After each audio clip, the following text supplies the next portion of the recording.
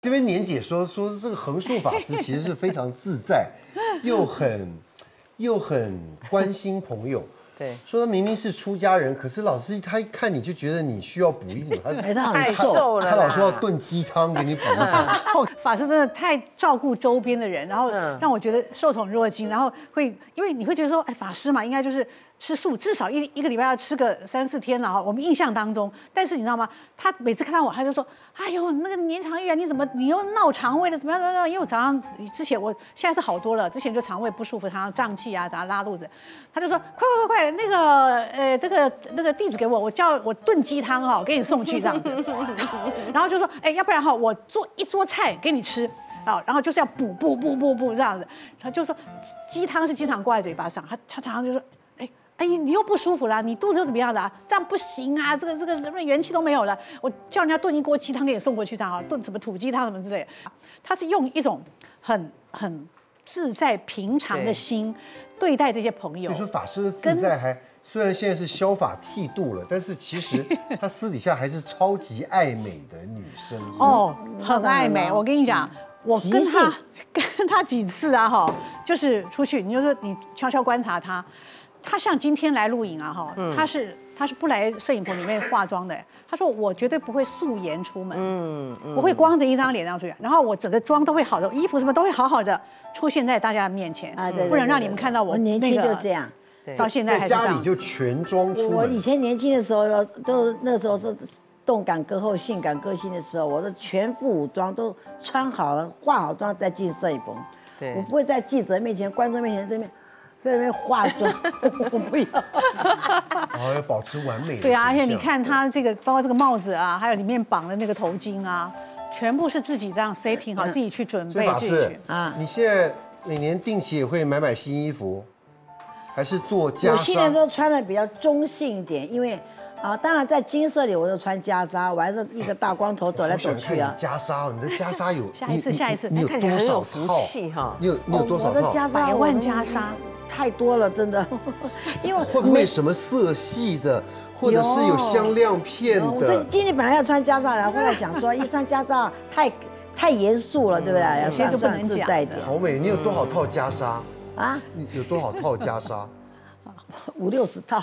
五六十套。那有没有分什么系列比方说今天有人请我证婚了，我就穿红色的袈裟，很漂红色。袈裟，哇，好美哦！还有人往生的话，我要去捻白香，我要穿白色的，然后绣的心经，很漂亮的。是有啊。哇，那还有什么的？各种当然有日本在日本买的袈裟很贵。多贵啊！日本袈裟多贵啊！哇，那真的贵了，太贵了。那我只买了几套，买不下了。讲究的。哎比较有趣的是，什么叫包场法郎啊？什么叫法郎包场啊？这个我来爆料哈包场啊他有一次，他我跟你讲，法师的妙事真的太多了。我记得有一次哦，我们是帮他开一个记者会，也是个很他要成立那个自在禅宗的记者会，就他就说，哎，他已经到了。我说，哎，记者会时间还没到啊。他怎么楼我在楼上，你上来。我一上去哦，是一间法廊。然后没有别的客人，只有他一个。他说我今天包场，把那发廊包下来。我说，因为他那天是正式记者会，所以他穿袈裟，他是光头造型，不像今天这样。对啊你光头你要做什么造型？对呀、他把发廊包下来。他说，第一，我要在这边先那个缓一下，休息一下。缓一下。然后当然有个造型师也在旁边帮他这样加减看啊、弄啊，还是还是要要弄什么啊？都没头发，要弄什么啊？我的衣服很麻烦呐。是要弄衣服，头上都没头发，要弄什么？压点粉，不然出油不好看，还是怎哦我？的我的衣服太麻烦了。它很像日本和服那种，哎对不对？对有点他还是有帮你弄一下你的头吧？有没有擦要擦点粉？要不要？啊那不用了，不用啊反头发不用烦恼，我的衣服很麻烦呐，我的衣服一定要旁边有护发在，哦，所以呢，我这些衣服也没有机会穿。等于在那边就是做整个的，他整仪仪容、整容、整形啊，在那边在那边做一做这样子啊，就是弄到非常好，他才要出来，所以那个发廊就整个包下来这样子。哎哎，你刚刚讲讲你那个鸡汤我还没有补充啊，啊，你补充补充，对不对？对，你的鸡汤都煮什么？就光清鸡汤啊不？是因为他他现在好像胖了一点呢。我胖了一点好，胖了。他之前好瘦啊太瘦了！。我跟你讲，你不要小看这个鸡汤啊，因为我有个朋，我有一个朋友啊，这这个很瘦的人了、因为他每天呢，我看他啊玩露营啊，也通告很多嘛，那那那段时间，所以就吃这个元气。但外面也有卖什么鸡精啊，当然也有，但是鸡汤是一只鸡拿来一只炖炖炖炖炖，炖了四个钟头，哇哦，然后那碗汤把它放在冰箱里面，然后把油去掉，嗯哇，那个真的很补哎。对啊对啊。我那时候就说，他他没他没空，我说我叫我家工人炖给他吃，他说不要。法师还要补充的吗？啊我要进入下一个系列了哦。等一下还要三十分钟，哦真的啊还要讲三十分钟还。要呃还要补充什没有，么你？现在没有了刚刚有没有法郎有没有要补充的？嗯 那个，我我我我那次的记者会，那个年姐说，哎呦，你这总统规格也没有来这么多记者，就是我解释那哦个，大概五十家媒体，真的哇塞！但是我上面有个小而且他们都法郎，开直播，直接把它播出去。哎我说哎哎哎，你不要你不要叫客人了，我要我要在这边休息一下哈。然后他师傅你要不要剃头？我说好啊，剃头。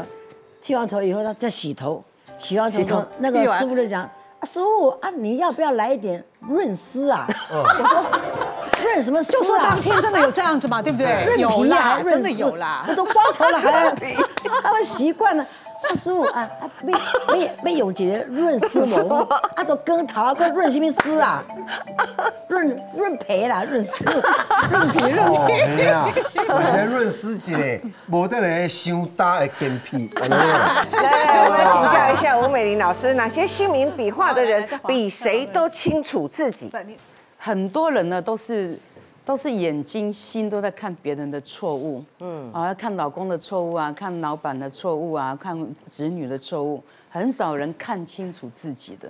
看清楚自己的人比较少，但是看清楚自己的人呢，他本身自我察觉力比较高。这个就是不管哪一个格局，有七画、十二画、十七、二十三、二十七、三十七、四十七的人，因为这些人本身比较冷静。